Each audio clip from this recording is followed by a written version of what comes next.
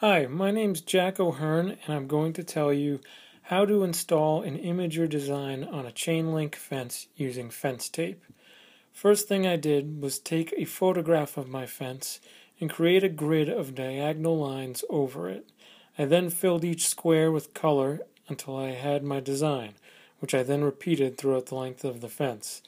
I used Adobe Photoshop, but it's pretty basic stuff, so you can use other programs or even draw it by hand using tracing paper.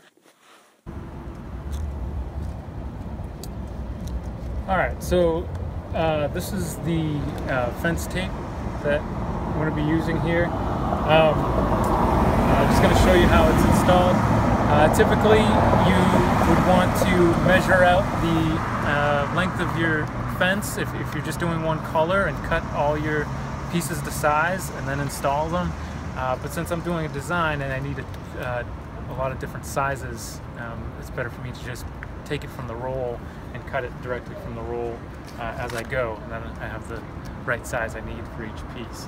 Um, so the first thing I'm going to do here is just go for my starting point, which is uh, beginning of my cloud shape here and fold over. I get about uh, inch or so overhang. I'm going to fold that over. And I'm going to take my brass fastener here, which you can get at an office supply store if you need extra. They also um, come with the product, uh, the fence tape.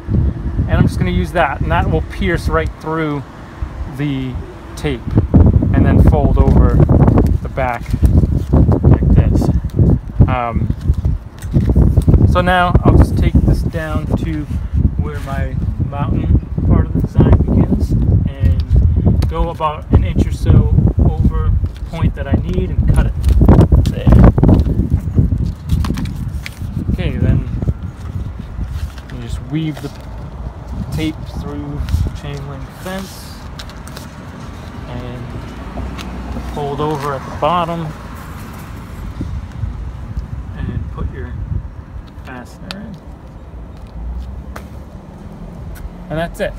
So the foreground imagery is going um, up to the left and the background uh, beige color is going up to the right. And that helps me keep track of where I'm where I'm at, sort of the foreground and the background. I know if I'm working on the foreground, I need to go in one direction. If I'm working on the background, it needs to go in the opposite direction.